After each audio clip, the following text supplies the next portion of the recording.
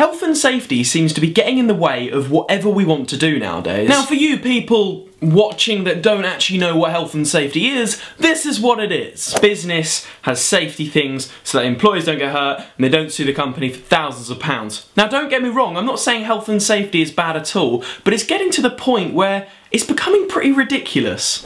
Stop right there. I haven't actually written a risk assessment to allow you to drink from that bottle yet, sir. This is my water bottle. I drink it every day. Well, sorry, sir. Due to the new health and safety regulations of 2013, everything you must do must have a written risk assessment so you don't hurt yourself and don't go and sue someone because that would be really, really bad and I'll get really, really badly in trouble and I'll have no money left. All this hard work is making me hungry. I feel like a Nando's. Stop! Oh, what now? So I'm actually still in the process of writing a risk assessment to actually see if you can actually stay on the carpet because it'd be really, really dangerous, sir. It's a bit of fluff.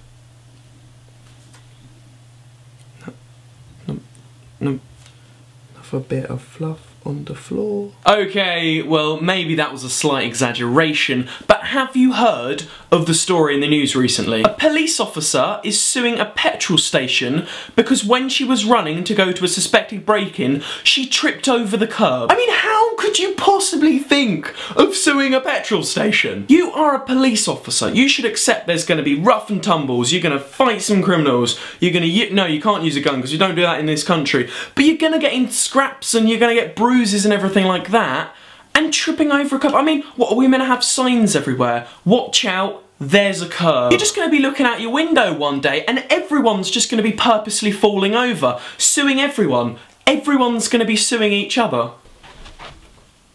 Right, here we go. Ow, ow, ow.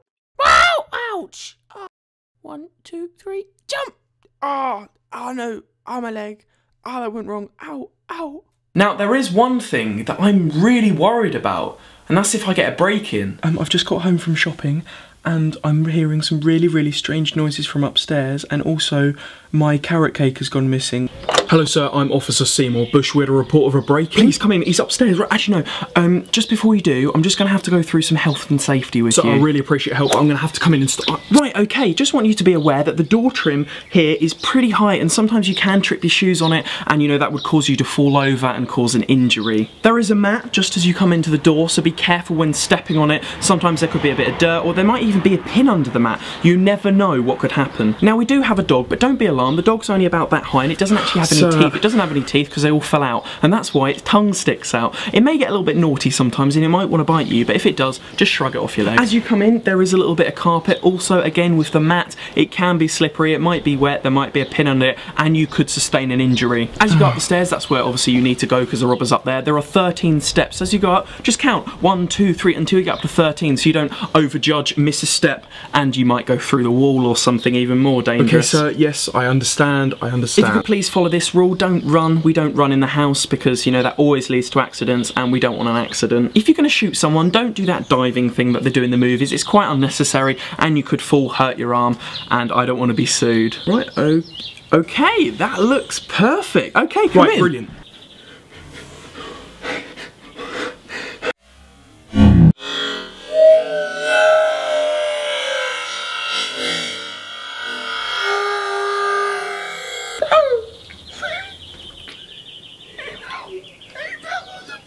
Now the point I'm trying to make with this video is that I just think health and safety is just getting a little bit too much. Everyone's scared of someone suing them. But I want to know from you guys what you think about this subject. Is it just me or do you think health and safety is getting a little bit crazy as well? Write your comments below. Also give the video a like if you enjoyed it and subscribe to see more videos when I upload them. I also now have a Facebook fan page where you can go and like it and you'll be updated whenever I post a new video or post whatever I want to do. I mean, I don't know why you'd do that, but yeah, you can do that if you want to. See you later. I also now have a Facebook pan. I also now have a Facebook pa pan page.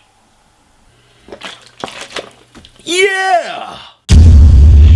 Oli, Oli, uh, Oli, Oli, uh, Oli, Oli, uh, Oli, Oli. So his name is Oli White and he's the best in the land Cause every single video he makes is always gonna be grand Click on his page if you wanna see more He's got more subs than a jail audio store You came in, he's not from down under